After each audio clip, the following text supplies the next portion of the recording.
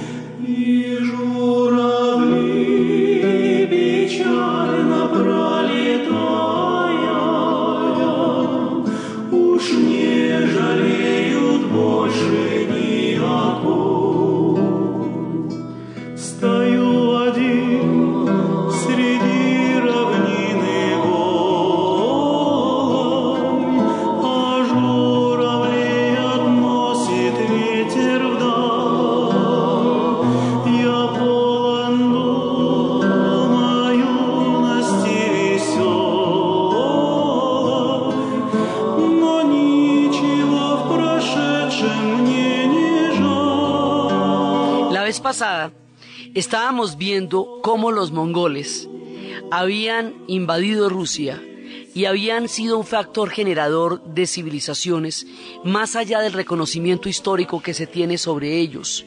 Habíamos visto cómo al invadir de un lado al otro y llevar sus diferentes estructuras, comunicaron los pueblos entre sí. Llevaron, eh, habíamos contado, llevaron los fideos de la China a Italia y eso se volvería después un gran plato italiano. Con los mongoles en Europa se dejó de tocar con la yema de los dedos y se empezó a tocar con el arco los instrumentos. El arco es un invento mongol. Igualmente el estribo, que fue lo que les dio a ellos la libertad de manos para sus grandes correrías. Entonces, los mongoles habían creado un orden estable, habían estabilizado la ruta de la seda y la habían conectado el Mar Negro con Bizancio y al conectar el Mar Negro con Bizancio, toda la salida por ahí para pasar por Bizancio y luego de Bizancio pasar a Europa, ya al Mediterráneo y al Egeo y llegar a Italia, eso ya era, ya estaba listo. Entonces fue, ellos estabilizaron esa ruta de tal manera que cuando Marco Polo fue, él encontró un orden totalmente eh, llevadero, fue como una de las épocas en que mayor transitabilidad tuvo la ruta de la seda, tanto que hoy día no es así. Hoy día usted no se puede echar un- una vuelta por la ruta de la seda como se la podía hacer en tiempo de los mongoles, porque Hoy día por ahí pasa, eh, eso está, eh, hay, hay sectores que son sumamente candentes en términos de conflictos porque la ruta de la seda atraviesa todo el Asia Central. Y en el Asia Central, pues ahí, por ejemplo, una parte de la ruta de la seda pasa por Afganistán. Entonces, la ruta de la seda era la que había creado todo el puente entre civilizaciones y había en sus tiempos más extensos llegó desde Nara, atravesó toda la China, llegó al Valle del Pamín y como toda esa zona la van a coger los mongoles, entonces desde China, desde la Mongolia interior y China, pasando por Bizancio, hasta llegar a Bizancio, todo eso lo tienen los mongoles. Entonces ellos conectan, como vienen del Asia, van a conectar lo que es la parte del Mar Negro, que son todos esos ríos que hemos visto, la van a conectar con Bizancio. Y al conectarla con Bizancio, ya la sacan para Europa. Y es uno de los momentos en que la ruta de la seda realmente recorre todo su esplendor. Y habíamos visto que la ruta de la seda cuenta la leyenda de los chinos, que había una chica que, cuyo padre había salido a la guerra hacía ya cuatro años. Y ella, desesperada, dijo que se iba a casar con el primero que trajera a su padre. Al cabo de cuatro años el padre llegó en un caballo. Ella lo recibió con mucho amor, ella y su esposa y la esposa que estaban totalmente desoladas. Y luego el caballo empezó a relinchar desesperado en el establo. Y ella le contó al padre que ella había prometido casarse con el que la, tra- la trajera y que por lo tanto le tocaba casarse con el caballo. Semejante juramento no se podía cumplir. Así que mataron al caballo y pusieron la piel sobre la grama Cuenta la leyenda que una vez ella pasó cerca de la grama y el la piel del caballo la envolvió y la subió a un árbol en forma de morera. Y ese es el origen de la seda que haría posible esa ruta. Entonces esa ruta existe desde la antigüedad. Esa ruta fue cuando los romanos por primera vez quedaron paralizados frente a los ejércitos de los griegos, no por la, no por la fuerza de sus armas, sino por la núbil belleza de los estandartes de la seda que pendían de los, de los, de los ejércitos de los persas. Entonces, esta ruta va a durar mucho tiempo, pero durante los mongoles, va a tener uno de sus mejores etapas porque ellos la van a estabilizar muchísimo y por eso es que decimos que cuando Marco Polo llega por toda esa zona encuentra un lugar perfectamente estable y transitable. Entonces, los mongoles van a ser un factor de civilización, como estábamos viendo la vez pasada, no solamente un factor de barbarie, si sus invasiones eran aterradoras. De eso no hay ninguna duda, y es la memoria de esas invasiones la que queda.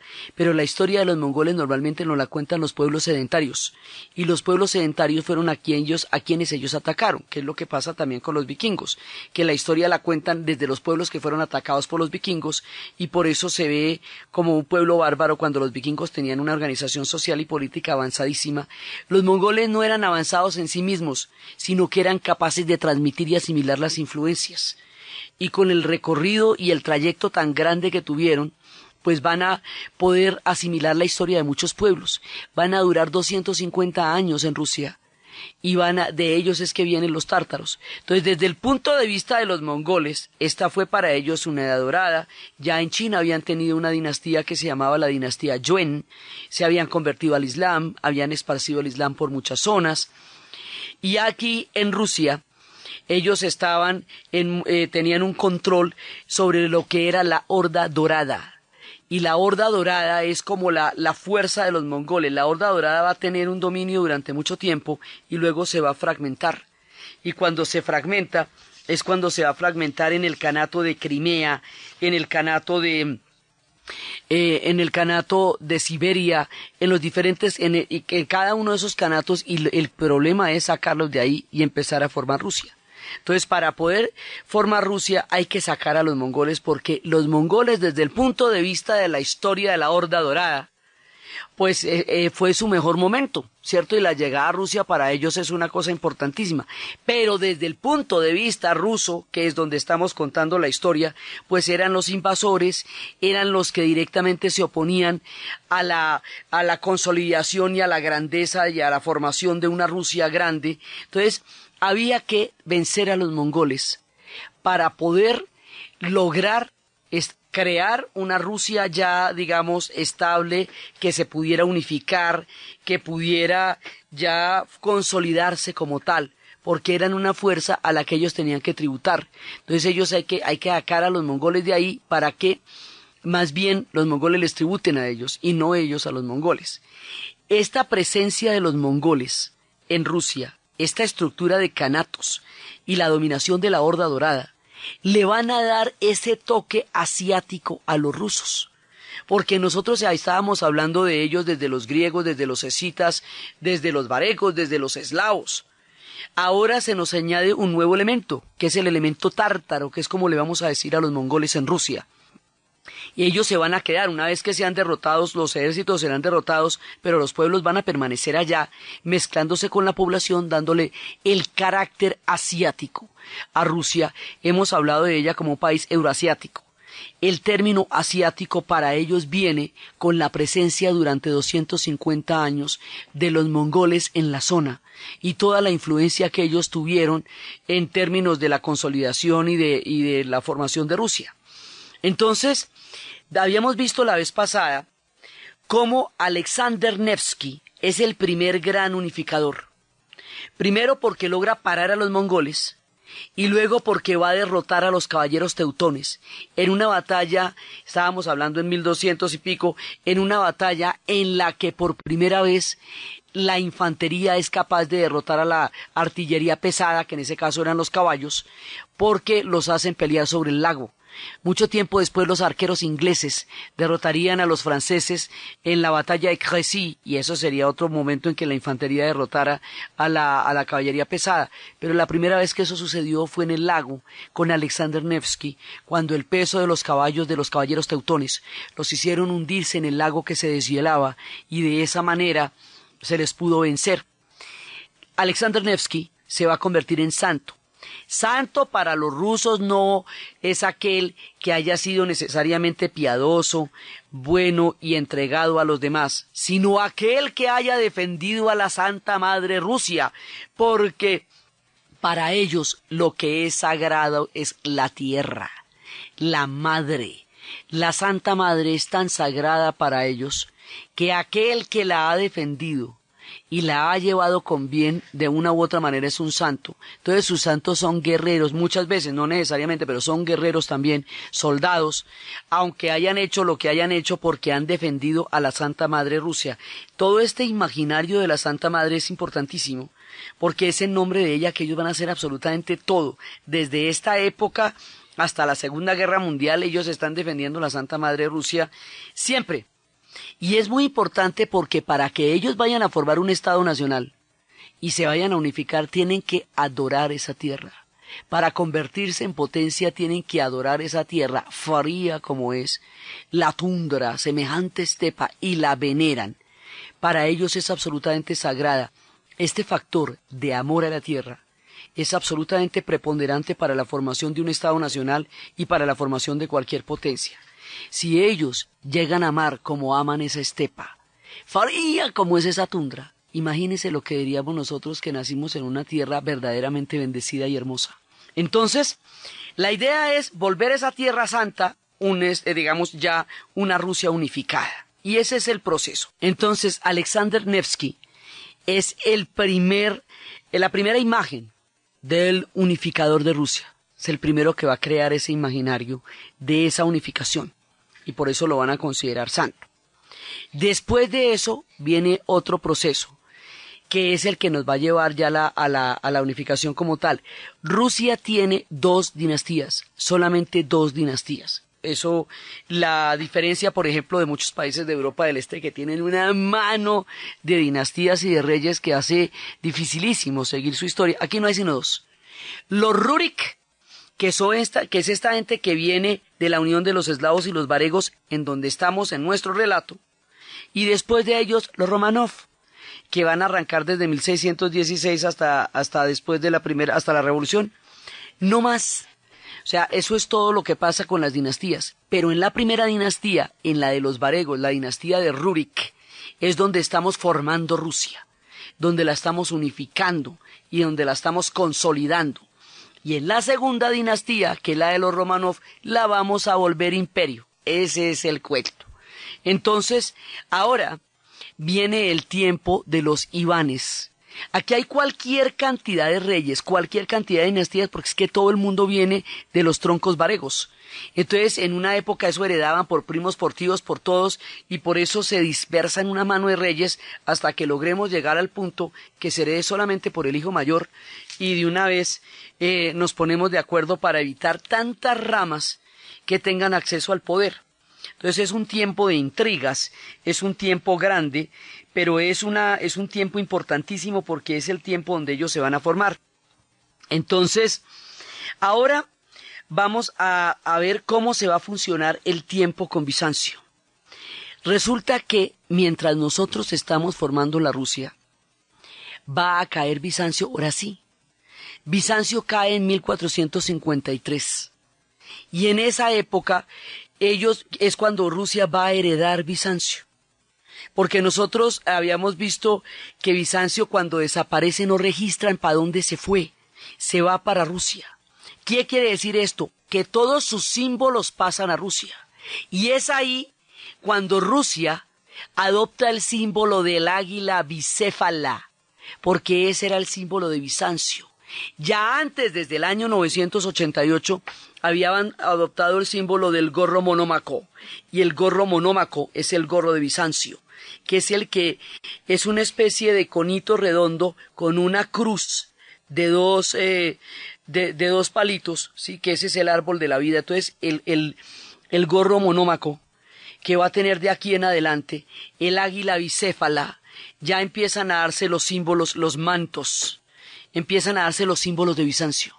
Y es aquí cuando ellos heredan a Bizancio, cuando ya consolidamos la idea de la tercera Roma, porque Moscú es la heredera de Bizancio, y si hubo una Roma que cayó en tiempos de los bárbaros, y la segunda Roma es Constantinopla, y Constantinopla acaba de caer a manos de los turcos otomanos, entonces los herederos de Bizancio, de la fe ortodoxa, van a ser los de la tercera Roma, y la tercera Roma va a ser Moscú. Entonces aquí se nos va a trasladar todo el poder a Moscú y todo este relato es alrededor de cómo Moscú se va a hacer muy poderosa. Antes el poder estaba en Novgorod, en tiempos de Alexander Nevsky, porque él era el príncipe de Novgorod. Y ahí también se hablaba de una gran conexión con Bizancio, porque a ellos les habían dado el gorro monómaco cuando se convirtieron a la fe ortodoxa. Pero aquí esa antigua conversión, que ha sido siempre el vínculo que ellos han tenido con Bizancio, ya no es un vínculo, ya es una herencia, ya es un legado, ya es un tomar en sus manos el mundo bizantino, llevarlo a su consolidación y con esa herencia formar la Rusia, esta grandota que se va a consolidar. Por eso el arte icónico de los, de los rusos es una cosa del otro mundo, porque tienen, aparte de su propia escuela, tienen la escuela que van a heredar de Bizancio ya eh, con plenos poderes. Esta herencia se va a dar a través de la figura de Iván el Grande, Iván III, que se va a casar con Sofía Paleologos, la hija del último emperador asesinado, de, la sobrina del último emperador asesinado de Bizancio. Cuando se produce esta unión entre Sofía Paleologos y e Iván III, ahí él queda zar de todas las Rusias, porque es heredero de los Césares. Esa es una de las versiones de, de donde viene el nombre de zar, que es la palabra rusa para César. Y ahí él queda fusionando el legado de un imperio con la consolidación de otro. Entonces, la fe ortodoxa, más que nunca, va a determinar la historia de Rusia porque es este legado de Bizancio lo que les va a dar a ellos la fuerza de civilización para emprender su gran proyecto. Y el gran proyecto es consolidar Rusia alrededor de Moscú y lograr que todos los principados que están alrededor de ella la reconozcan. Ahora, ¿cuál es el problema de consolidar Rusia? Primero, y de consolidar a Moscú. Moscú no queda cerca de nada. Entonces hay que sacarla al este y hay que sacarla al oeste. Es decir, conectarla con los grandes ríos. Esa es una parte, porque la historia de la expansión de Rusia es la historia de la expansión de Moscú. Pero hay un problema fundamental. La mayoría de los ríos están en Rusia. De los ríos que hemos hablado, de los cuales se forman estas civilizaciones. Pero los puertos no. Los puertos están en control de los tártaros, los que van, o sea, de los mongoles, los que, los que van al Mar Negro, o están en control de los lituanos, o están en control de los polacos, o están en control de otros pueblos que son muy poderosos en la época de nuestro relato y que hoy no lo son. Por ejemplo, Polonia era muy poderosa en el siglo XII y XIII.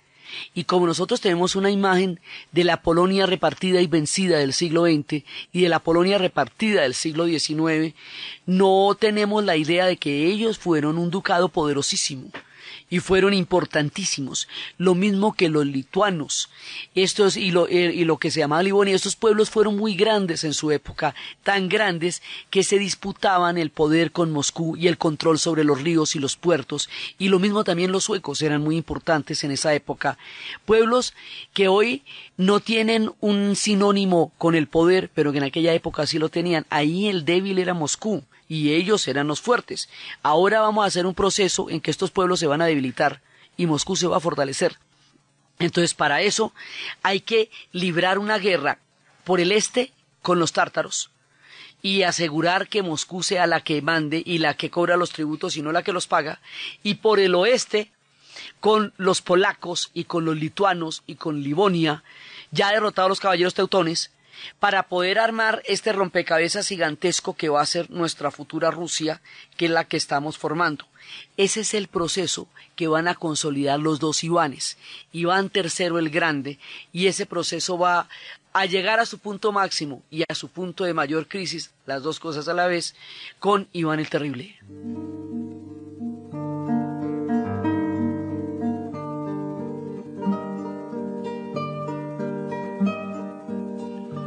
Мело, мело по всей земле,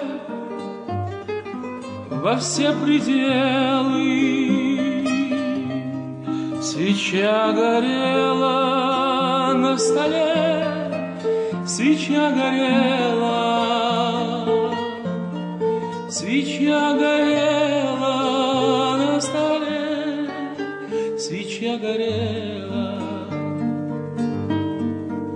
Как летом рой машкара летит на пламя, слетались хлопья со двора, как конной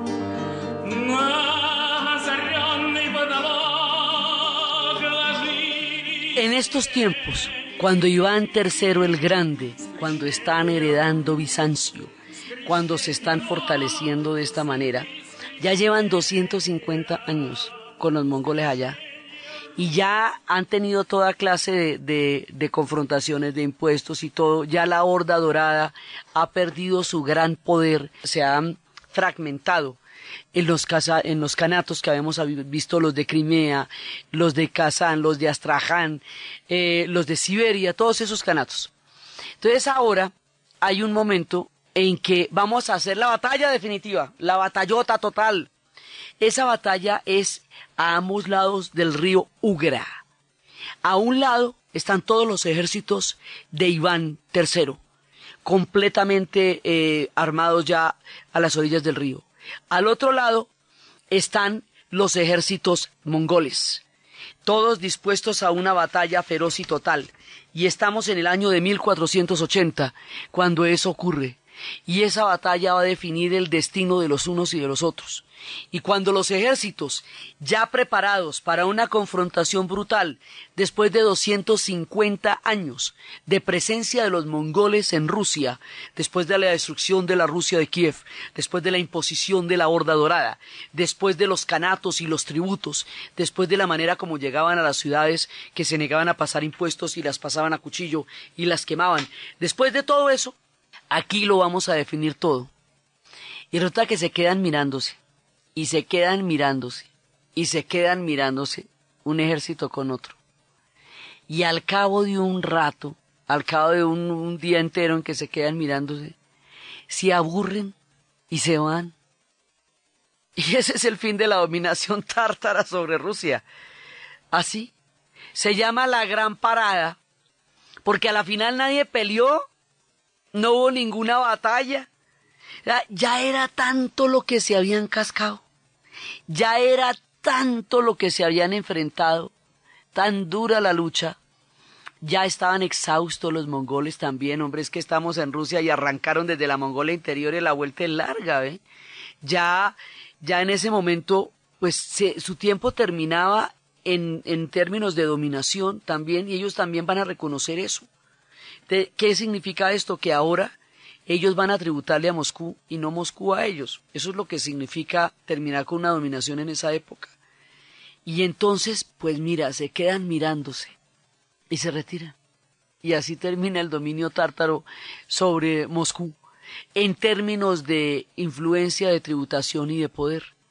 Quedan los canatos y hay que ir por cada uno de esos canatos, digamos, si yo quiero hacer una Rusia grande, me toca sacar a esta gente de los canatos, derrotarla. Pero el dominio central, o sea, toda la espina dorsal del mundo mongol o tártaro, como le decimos a los mongoles en Rusia, termina con la gran parada a, ambas orillas del río Ugra. Entonces en la historia a veces también pasan esas cosas. Entonces, bueno, ya teniendo a los tártaros en retirada, ahora vamos a consolidarnos y vamos a ponernos en, en ma- en materia para poder armar esto. Entonces, Iván III lo que hace es consolidar la fe ortodoxa, acabar con el dominio tártaro en términos ya de, de poder. Él contribuyó muchísimo a la formación de esta Rusia y su contribución y su capacidad de gobierno es lo que lo van a llamar, por eso es que él se llama Iván el Grande. Iván el Grande muere después de una gran obra, porque el hombre ya dejó esto listo, ya listo para Ponqué, mejor dicho, al pie de, de- de la condición de crear una Rusia. Ahora, tenemos un problema aquí. Resulta que como había toda esa cantidad de herederos que vienen de la rama de los eslavos y los varegos, esos herederos, esa cantidad de, de, gente que viene de un mismo tronco, tienen unas tierras muy grandes, se van a convertir en una especie de señores feudales a los que vamos a llamar boyardos. Estos boyardos no tienen un interés en la unificación de Rusia, porque eso inmediatamente debilita el poder de ellos, en un proceso muy parecido al que vimos con Francia cuando se va formando el Estado absolutista y para eso tiene que derrotar a la nobleza cuando los nobles, los duques, los condes que poseen las tierras y los ducados y todo eso, qui- quieren eh, eliminar la autoridad del rey, minarla, para poder encontrar un rey que gobierne con sus intereses. Entonces los boyardos siempre van a estar en contra de la, de la creación del poder de los zares, porque el poder de los zares va en detrimento del poder de los boyardos. Entonces, siempre, esta es una constante que vamos a ver desde los dos Ivanes y luego la vamos a ver también en tiempos de Pedro. Siempre los boyardos están al acecho. Los boyardos fragmentan Rusia porque ellos son los que tienen las tierras y un poder muy grande sobre cada una de esas tierras. Y, entonces, y además muchas veces se apoyan en la misma iglesia. Entonces, ahora lo que va a pasar es que Iván muere y luego va a subir su hijo que se llama Basili III. Y Basili III está gobernando de acuerdo con la línea de Iván y no tenemos ningún problema con eso, pero resulta que Basili se muere, se muere muy temprano. Cuando Basili muere, su hijo Iván, al que vamos a llamar Iván el Terrible, en ese momento no tiene sino tres años. Es un muchachito. Entonces hay una regencia y esa regencia va a ser muy complicada porque la regencia da, eh, la regencia de la madre de él, ella no va a poder contra toda esa cantidad de intrigas palaciegas que se van a hacer por parte de los boyardos para volver a fragmentar el poder que los ares están intentando unificar. Entonces, ese problema se nos va a convertir en una cosa muy complicada y esto se va a traducir en muchos maltratos, humillaciones, eh, suspicacias. Esta es una época de venenos, eh, es una época porque además a ella también la van a envenenar y cuando la, la envenenan a ella, y eso es lo que pudo, pero a ella la van a envenenar. Y cuando a ella la envenenan, en ese momento Iván queda huérfano de padre y de madre, y cuando queda huérfano de padre y de madre, queda a merced de los boyardos, y los boyardos lo van a hacer de almuerzo, lo van a maltratar, lo van a humillar, le asesinaron a su madre, entonces él toda la vida crece entre una entre un ambiente de desconfianza, de venenos, de traiciones, de de soledad, de orfandad, de tristeza, lo que va a hacer de él un ser sombrío, un niño maltratado, que va a ser después un adulto terrible. Él no ha visto sino maldad de parte de los boyardos. Él conoce la oscuridad de la naturaleza humana durante toda su infancia. Con la muerte de su padre, con el asesinato de su madre, este hombre va a crecer mientras los demás lo pintan en la pared, no lo toman en cuenta para nada, pero además los boyardos, como no están interesados en la unificación de Rusia, porque eso va en detrimento de su poder, hacen un poco de tratos por allá con los polacos y con los lituanos y con este combo que estamos es tratando de debilitar para poder apoderarnos de los puertos, que es el proyecto para poder armar esta Rusia Pero si usted me va a hacer negocios con los polacos y si me va a hacer tratos con los lituanos, entonces me echa para atrás lo que yo estoy tratando de hacer, que es armar un rusionón bien grandote alrededor de Moscú, ¿no ve? Entonces van en contravía del proyecto de Iván el Grande. Entonces Iván el Terrible alcanza a ver que se están eh, desbaratando la obra de su abuelo y de su padre y que él no puede hacer nada porque no lo toman en cuenta él para nada porque todavía es menor de edad. Esa regencia va a durar mucho tiempo hasta cuando él vaya a ser coronado. Cuando él vaya a ser coronado, entonces ahora sí la cosa va a ser a otro precio. Pero mientras tanto los boyardos hacen lo que se les da la gana, y la imagen de su madre envenenada por los boyardos siempre va a amargar la, la, historia de Iván y lo va a llenar de soledad, de resentimiento y de aislamiento. Entonces, para la época en que el hombre vaya a subir al poder, pues dígame usted en quién va a confiar. Pues en absolutamente nadie, porque no ha tenido ninguna muestra de la magnanimidad de la naturaleza humana, porque lo único que ha visto es traición, venenos. Esta es una etapa parecida a la de los reyes malditos, en la medida en que todo está rodeado de venenos y de traiciones, y su preciosa madre, Elena Glinskaya, va a ser asesinada y con el asesinato de Elena Glinskaya el hombre siempre se va a sentir desolado y va a tener una, una orfandad de mujeres y de amor que siempre va a ser muy amarga para su alma. Después va a conocer una mujer divina que es Anastasia y cogen y se la envenenan también. Entonces el hombre, pues nunca, digamos, nunca le sale nada bien en términos de afecto. Y eso le produce una soledad muy grande. Finalmente llegamos al momento de la coronación. Entonces dijo, bueno, ahora sí, pongámonos serios. Señores boyardos, esto se les va a complicar, porque se les acabó el reinado, porque ahora vengo yo. Entonces sube Iván el Terrible con una coronación. Esa coronación va a ser absolutamente fastuosa. Y esa fastuosidad se ve en la película de Sergei S. Stein, Iván el Terrible, y muestra cómo le van poniendo el gorro monomaco, cómo le van poniendo el manto, cómo le van poniendo las barmas, que son unas especies de, de hombreras que se ponen alrededor del manto, cómo lo van eh, eh, ungiendo en mirra también, lo van, le van poniendo mirra, y cómo de dos bandejas bajan monedas de oro y lo bañan en oro y cuando lo están bañando en oro lo van, eh, lo van glorificando y le van dando toda la investidura del zar. Ya desde los tiempos de Iván el III teníamos estas coronaciones, pero con Iván el terrible, esta coronación va a ser absolutamente fastuosa y ahí es cuando uno alcanza a ver cuántos pueblos ya están conformando esta Rusia temprana. Entonces coronan a este man con todos los hierros, así con toda la fastuosidad, todo el boato, toda la pompa van a coronar a Iván el terrible y cuando él asume sobre sí toda la investidura de zar dice, bueno, ahora vamos a ejercer esto.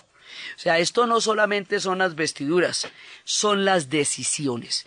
Vamos a limitar el poder de los boyardos.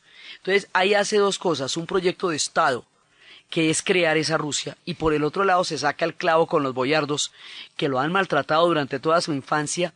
Entonces, se va a apoyar en, el, en, en los bajos, digamos, en la, en la baja nobleza, o sea, en los boyardos de menor rango los boyardos que son más campesinos que verdaderos dueños de la tierra, entonces para crear una, un ejército. Entonces él se va a rodear de un anillo de seguridad, porque se siente completamente solo, se va a casar con esta Anastasia preciosa, y la Anastasia preciosa que él tanto quiere llega y se la, se la envenena a la tía, ¿no ve? Y entonces dice, no, pero aquí no se puede confiar en nadie, esto está más peligroso que nada. Entonces le recomiendan que se haga un anillo de seguridad. Y el hombre se va a armar un anillo de seguridad que es un ejército personal terrible, con una policía absolutamente terrible, que va a crear cualquier cantidad de matanzas y de terror, de terror, con ellos tienen tienen en sus caballos la cabeza de un perro y una escoba para barrer y roer el poder de los boyardos. y esta es la fuerza contra los boyardos que va a poner Iván y que va a ser parte de lo que lo va a llamar terrible. Él va a ser terrible porque el poder lo va a ejercer en serio, porque es un hombre cruel, pero también es un gobernante durísimo. Digamos, él tiene muchísima contribución a la formación de Rusia a la formación de esa Rusia que tanto están planeando, y una de las maneras es minar a los boyardos, y este ejército privado es su primer paso para lograrlo.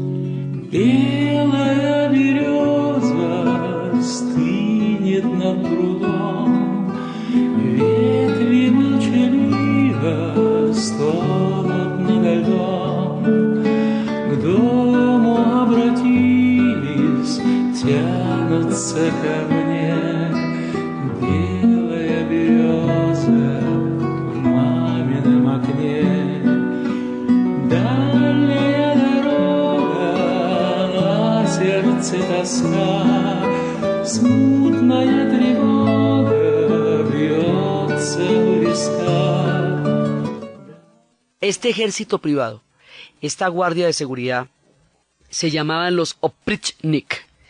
Estos Oprichnik podríamos decir que son casi que los antecedentes de la Checa, la NKVD y luego la KGB, son estas guardias de seguridad y de espionaje y de policía.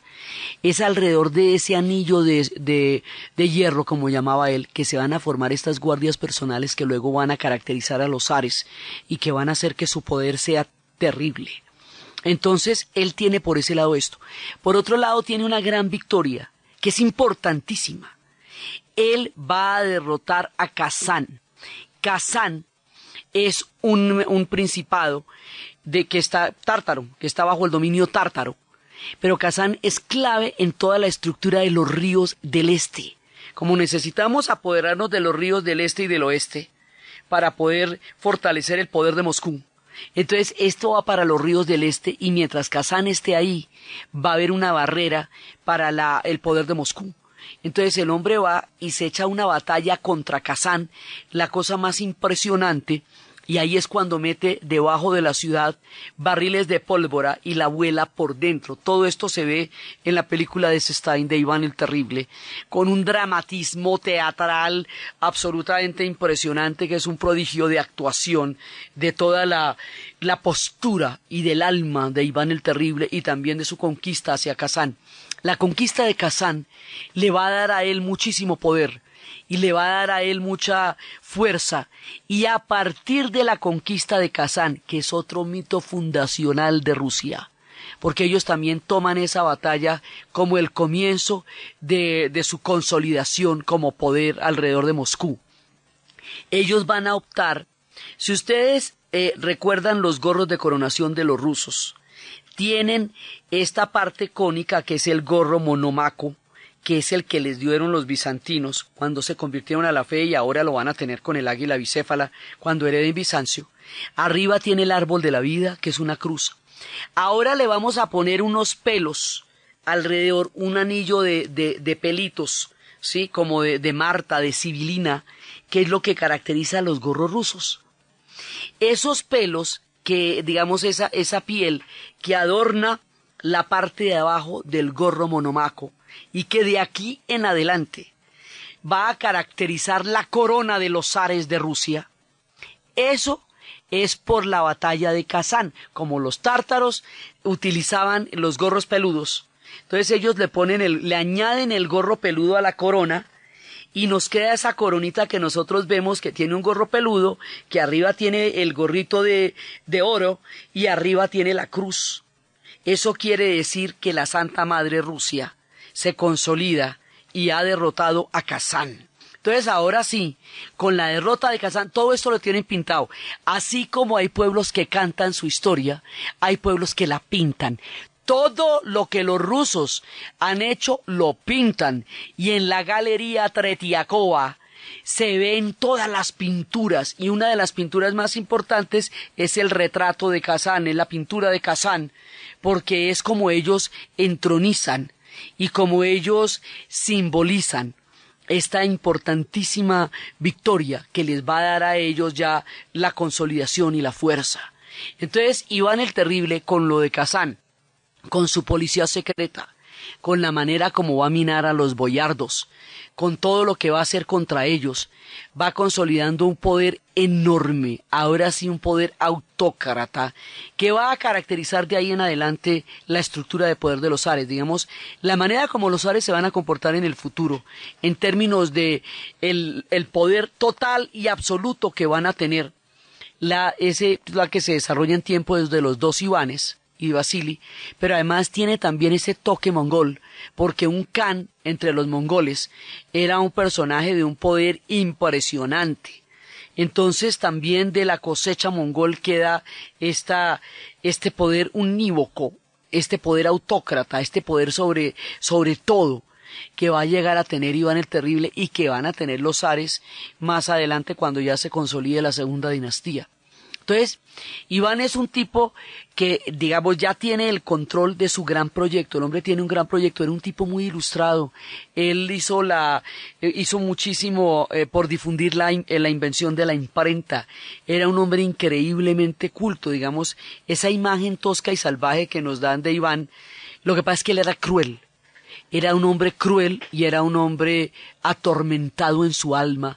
Hay cuadros que muestran las sombras de los hombres que él mandó matar y dicen que la segunda parte de la película de Stein, Iván el Terrible, fue prohibida durante la época del estalinismo porque a Stalin le recordó algo.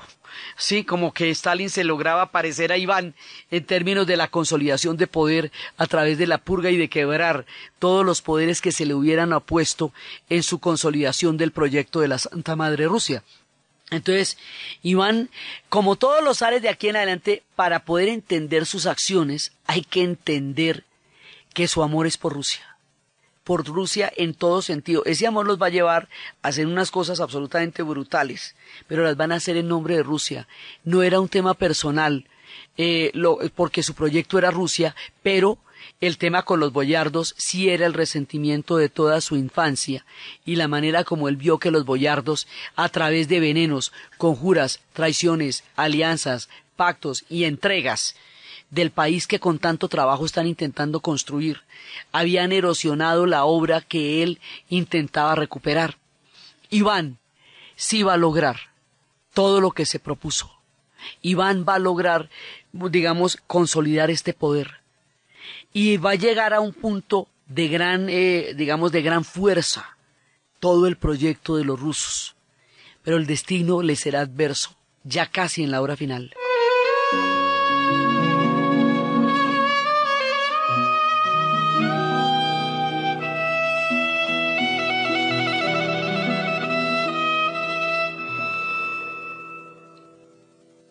Том саду, где мы с вами встретились, ваш любимый куст хоризонтем расцвел, и в душе моей расцвело тогда чувство первое нежной